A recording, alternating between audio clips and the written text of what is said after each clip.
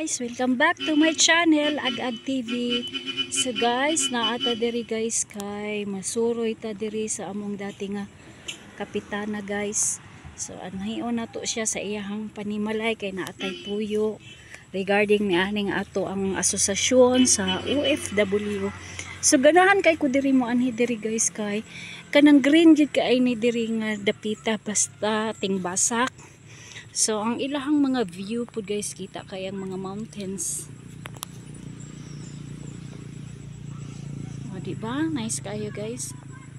So, ganahan kay Kudiri, ug moanhi Kudiri, kay kini lang balay, distansya po sa karsada. So, mo na ilang balay diha sa unahan.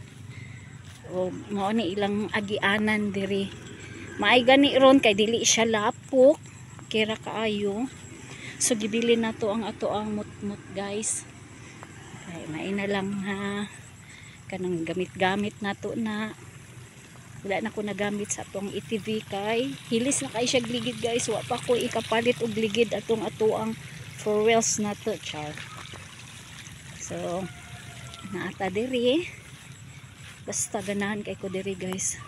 Kay diri sila murag nunid na diri mag aircon or mag electric fan kay kanang hangin man diri dapita Paganan kay ko kay makita nila ang bukid. So diha giya nga mga bukid guys kanang so royal na nagyud kay na diha guys kay naa diha kanang mga resto bar diha sa ibabaw. So ini kagabi kita kaayo ang mga suga. Kay naa naman na diha puy mga suga. Aside sa electric naapon na sila'y mga solar nga mga high power ni jud kaayo mga solar. Sa una diri guys, gamay ra kay inig panimalay diri karon daghan na kaayo.